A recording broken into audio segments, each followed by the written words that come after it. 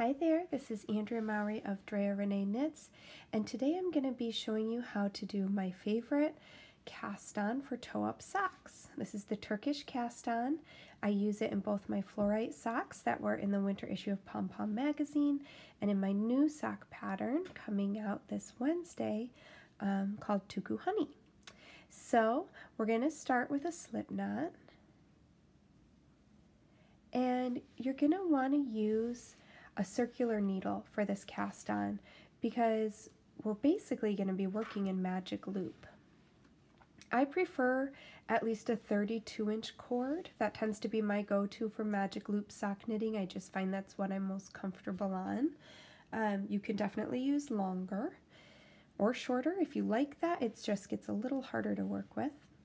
So we're going to hold our needle tips parallel to each other and we're going to put our slip knot onto our top needle. And then to begin this cast on, we're going to use our working yarn to wrap around both of our needles half as many times as stitches that we need. So if I was casting on a 24 stitch sock, I would wrap my yarn around my needles 12 times.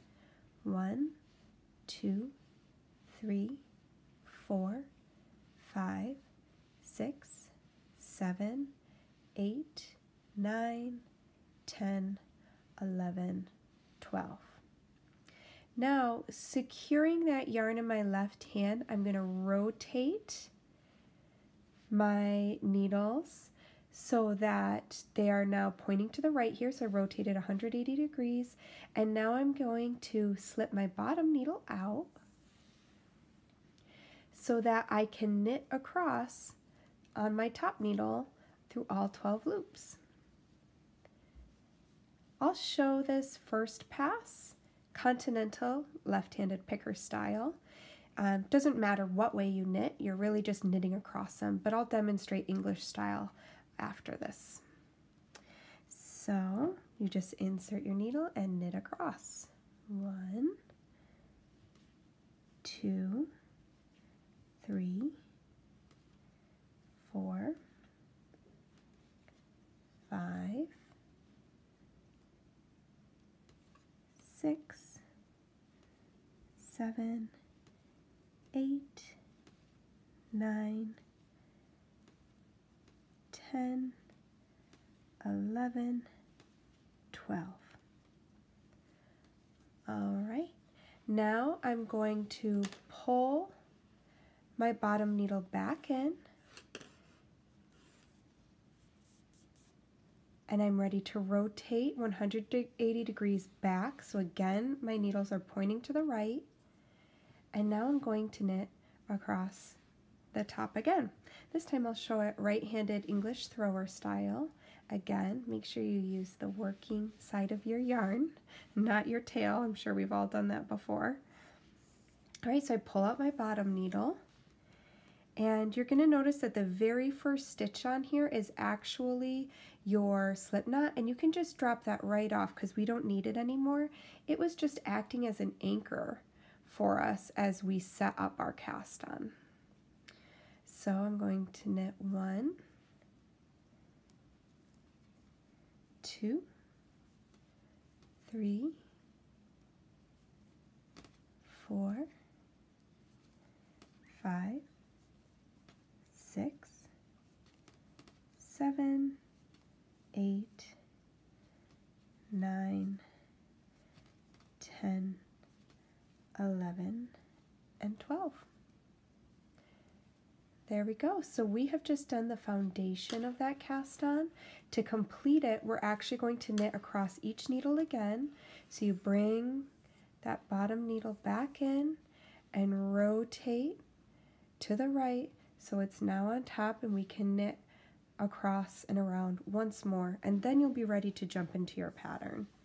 I'll show continental one more time.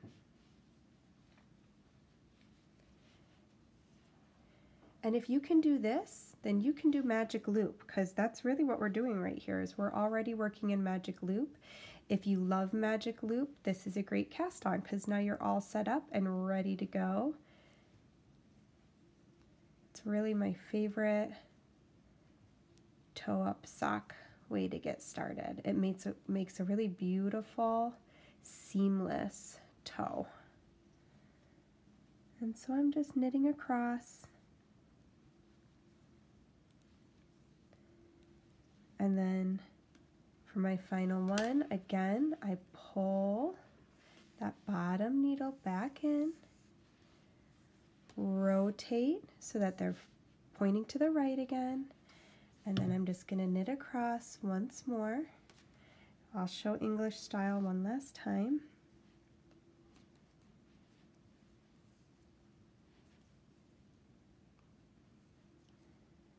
And once I'm done with this round, you can kind of start to see our little toe form. So I'll show you a little close-up of that.